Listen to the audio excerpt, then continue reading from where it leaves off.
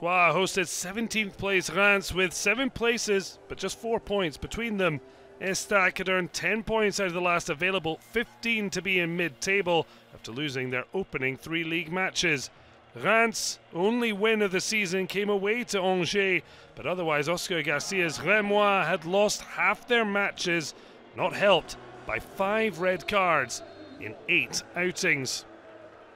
Bruno Irles looks to have outlasted claims he'd be the first managerial casualty of the season Yet his team face an uphill challenge as Reims struck after just 12 minutes. No Remois player has had greater involvement in the side's goals than Folarin Balogun, the 21 year old on the mark again. Six goals and an assist. The goal created by Junya Ito, the Japanese international, would go on to have quite the afternoon.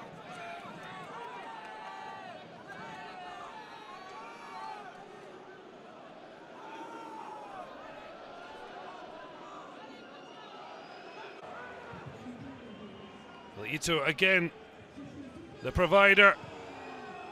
Andreaw Gravillon wasn't able to bring a finish. Two goals in the top flight in France with Lorient, but as yet not for Reims. Not for a lack of trying. Had won each of their nine home games against Reims in Ligue 1 Uber and Ligue 2 BKT. That under threat, yet Reims like Troyes, Brest, and Lille, failed to keep a clean sheet all season. Well, Yehvann Diouf left Estac for Reims and had successfully dislodged Patrick Pentz, yet the goalkeeper stumbled into a disaster. Wilson Odobert showing no mercy. Three top flight goals for the 17 year old PSG graduate. Diouf came through at Troyes, but now put through the ringer.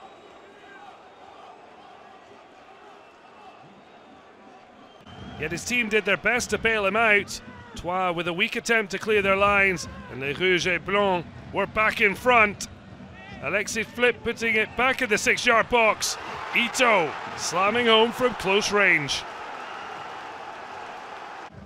A goal and an assist.